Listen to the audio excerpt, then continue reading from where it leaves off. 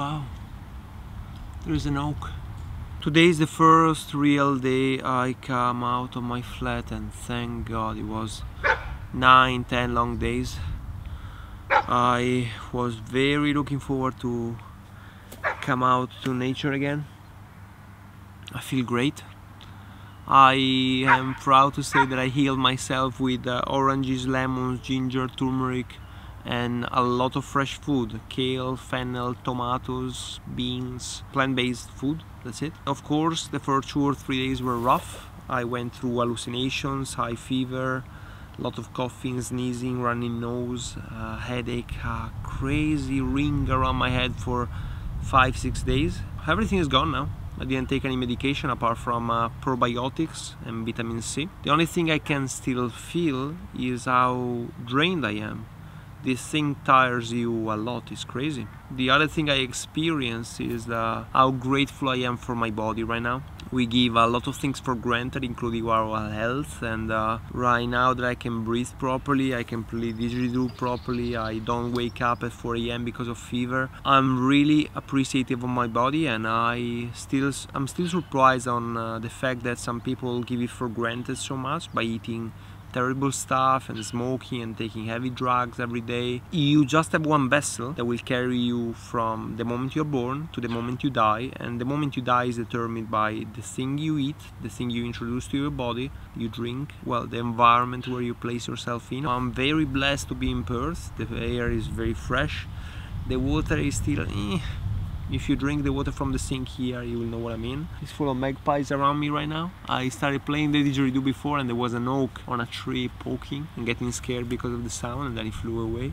I missed a lot more than usual traveling. So in the next week I'm gonna take my car either south or north. Last winter I went to Bluff Knoll and I saw snow for the first time in years probably. So I'm gonna go again very soon for a trek on top of the mountain, which is not really a mountain, it's 1,100 meters, but the closest thing to a mountain around here. One week ago they reached out on me for the visa, so they probably started looking at my visa, which also means that maybe soon I will be able to go back to Italy after five years I've been missing so amazing. I'm looking forward for some good news. I had this dream for a long time of uh, traveling around Italy and uh, create a documentary of every single region with all the things that every region offers with our well an infinite amount of things between food and landscapes and mountains rivers seas and traditions costumes dialects women a lot of things. So I might be looking into that soon. I'm getting distracted because there are magpies staring my direction so soon I'm gonna start playing the didgeridoo again. I'm uh, finally getting close to finish the sci-fi book I'm writing and I'm really planning to turn it into a graphic novel for at least one or two chapters to get some momentum. I've been exploring a lot into Web3 and cryptos recently because there are a lot of things happening. Now there is a bear market happening. A lot of people are getting desperate over a crazy amount of money they lost, but there is always a lesson in disguise and uh, I'm sure that it's gonna be the future. So I'm considering developing new skills this year in that direction. A bit of learning trading and learning a little bit of basic coding and uh, I'm starting my own business. I'm uh, creating video advertisement for companies and in the next weeks I have a lot of videos lined up to film for other people. So there's been a lot happening. But my number one dream has been always to be able to tell visual stories through the camera. So that's why I'm still here talking in front of a camera. Casey Neistat started making videos when he was 34 and voila, I'm 34 so now I'm considering all the time I've lost into things that didn't really matter and very soon I'm gonna start filming a video every single day. And this year I have planned to go to Exmouth because I've been promising myself to go there every single winter for many winters and I never had the opportunity because I was always stuck in a job I didn't like because of my sponsor and now I'm free.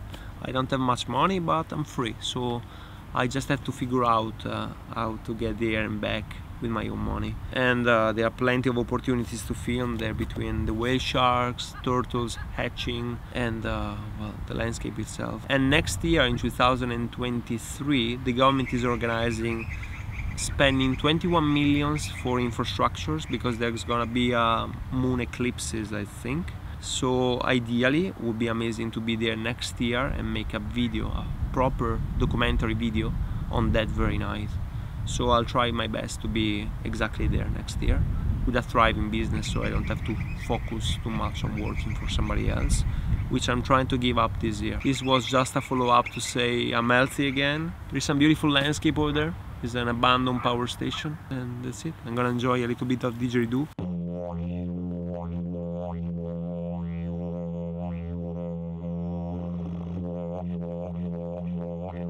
I want to make uh, something about food and nutrition soon because uh, well the thing I, I know for sure is that uh, doctors don't explain how to treat your body in a way that allows you to thrive. And there is a lot of misconception and misunderstanding on food so I'm sure a lot of people can make a good use of uh, a PDF or a little course. On how nutrition works on a basic level and what your body thrives on. There is a, a friend that is a nutritionist that gave me this fantastic book that they sell at universities. It's around $150, but it's massive. And there are other resources like the China Study or How Not to Die, but it's big, big books. And ideally I want to create something very small, 50 pages, 20, 30 pages, that you can have with you all the time, that uh, compiles briefly all the nutrients your body needs divided in foods, and in macronutrients so it's accessible to everybody. And whenever you plan your day for the week you know exactly what to do. Yeah. And then eventually start uh, releasing more and more products. I want to start from the breathing so breath work to nutrition to other skills you can develop to create a body that is like a Swiss knife and uh, this year I really want to hammer down on skills. The skills that help you thriving as a human being. I think that's it for today. I just wanted to touch base and let you know that I'm still making videos. I miss it a lot actually. It's good to be back to this. And uh, I'll see you in the next videos I'm not sure but it's gonna be somewhere in nature probably I'm thinking Bluff Knoll or Margaret River or just somewhere exploring. I'll show you a little bit of the the thing behind me. I have the drone with me. Enjoy the view. I'll see you in the next video.